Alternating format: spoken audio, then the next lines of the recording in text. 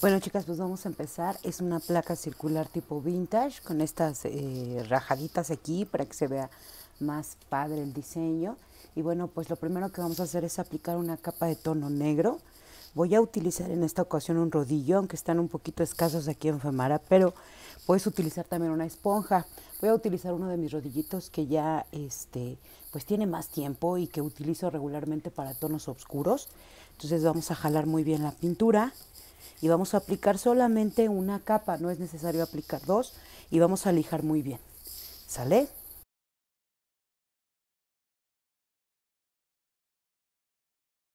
Bueno, pues ya está completamente seca mi placa, solamente de una capa de negro. Ahora aquí en mi paleta, como ustedes pueden ver, si se ve, si se ve, tengo un poco de eh, diluyente en la parte media, ojalá se alcance a ver, y un poquito de tono blanco, bueno, tono blanco aquí, y una pizca de tono arena, ¿sale? Que es lo que, con lo que vamos a trabajar nuestro fondo. Voy a hacer un poquito por acá a la pequeña yola. Ahora me voy a acomodar lo que voy a hacer es primero mojar mi, pinceleta. Estoy utilizando una pinceleta de cerda natural.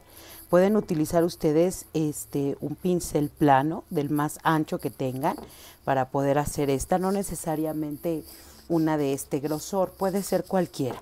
Voy a tomar un poquito de blanco.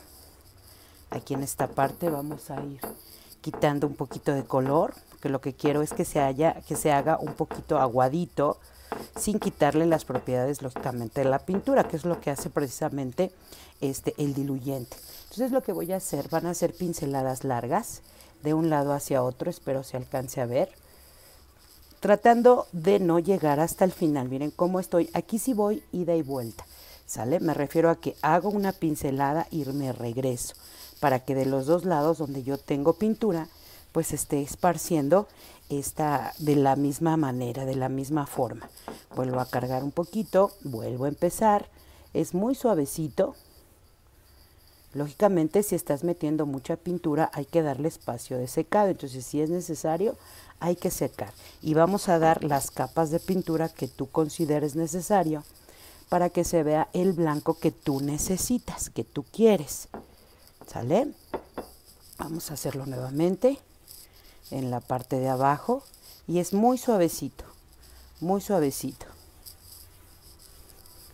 Voy a secar y voy a continuar aplicando el color.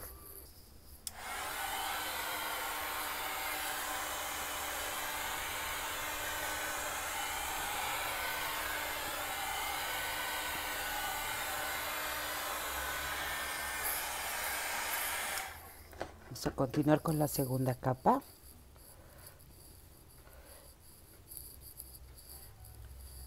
La idea es que queden esas rayitas bien marcaditas.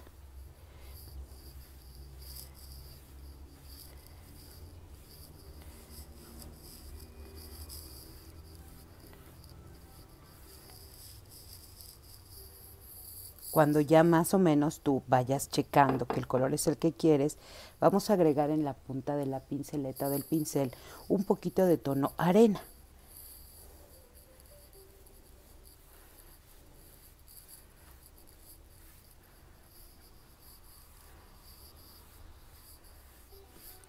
Sin dejar de colocar también nuestro tono blanco.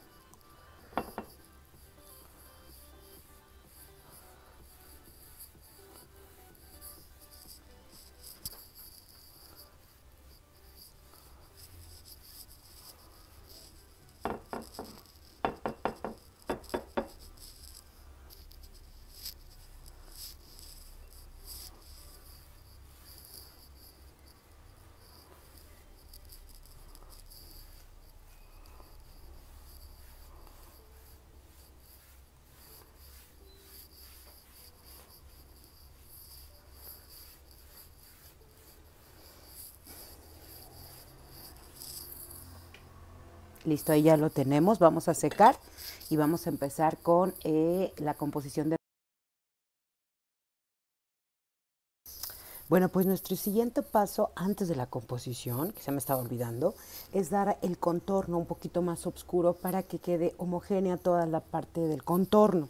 Entonces voy a utilizar pintura negra, un pincel de cerda natural, estoy utilizando del número 20 ¿sí? Y lógicamente mi toallita a este, azul para descargar, tomo un poquito de pintura, descargo, no mucho, aquí no mucho, porque lo que quiero voy a acomodar para que me queden las líneas lo más eh, vertical posible y voy a empezar a cepillar de afuera hacia adentro. Tratando de levantar el pincel a la hora que empiece a llegar a tocar el blanco, para que vaya haciéndose esa sombra, ¿sí? Y hagamos la ilusión de que lógicamente el negro pues está comiendo al blanco, ¿verdad? Así lo vamos a hacer en todo el contorno de nuestra placa.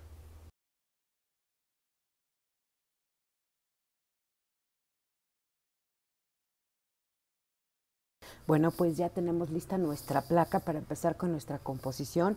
Recuerden que este, este sábado vamos a tener nuestra clase en vivo por YouTube, así es de que si no la alcanzas a ver, bueno, pues ahí se va a quedar grabada para que la puedas ver, pero te voy a platicar cuáles son los esténciles. Déjame, me hago para acá para alcanzarlos. Aquí están. Estos son los esténciles que vamos a utilizar. Por si los quieres ir preparando, estaría excelente. Este es el de la flor que vamos a trabajar, es el 2020-072. Está todo en el catálogo. Aquí en la descripción del video te dejo el enlace para que puedas ir a checarlos. Es de la medida 2020, 20 centímetros, y es el 072 Flores 2. ¿Sale?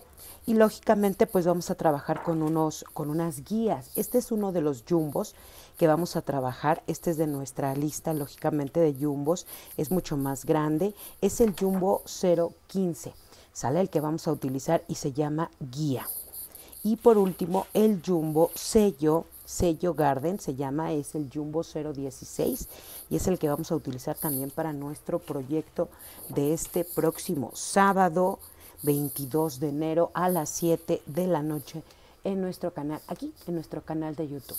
Así es de que te espero con pincel en mano para hacer esta hermosa placa de eh, Garden, de Vintage Garden, con esta hermosa flor, con unos tonos lilas, morados, bastante, bastante padres. ¿Sale? Te espero. Cuídate mucho. Bye.